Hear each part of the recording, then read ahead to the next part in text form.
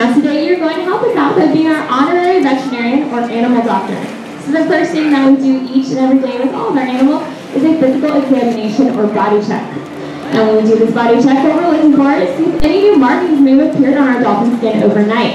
And since dolphins don't have hands like people do to communicate, they will sometimes use their mouth, which can leave small parallel scratches called rake marks.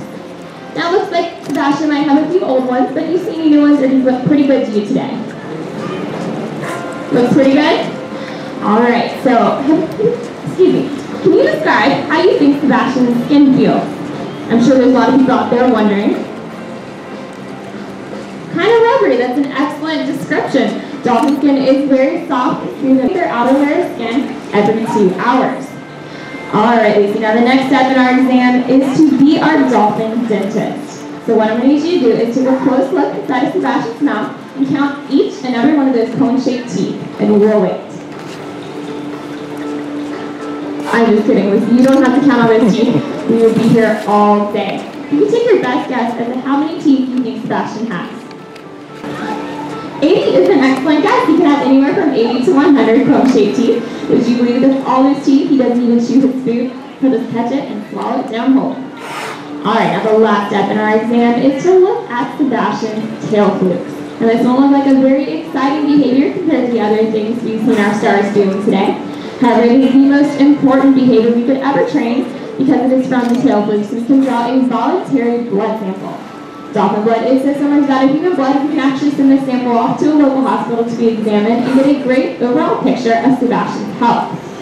Now what we're looking for, Luci, is for Sebastian here to be nice and calm, while someone who doesn't know, that would be you today, is touching his flukes. Do you think he's doing a good job?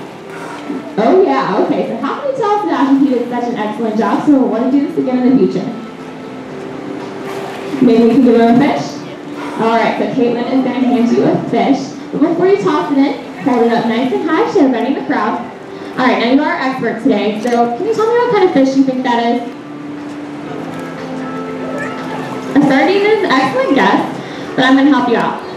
That's a dead fish. Alright, now Sebastian's going to turn around. You can toss that fish right in his mouth. Excellent throw. Now before you go, do one more thing for me. Smell your hand. Oh, fishy, yeah. Alright, well don't you worry. I'm going to teach you the trainer trick to get rid of that fishy smell. You ready? Rub your hands together real fast. Wave them up in the air. And then wipe them off on your pants. On your pants. Oh, she wanted to wipe them on my pants first. Well, give me a round of applause for Luci. She did an excellent job as our veterinarian.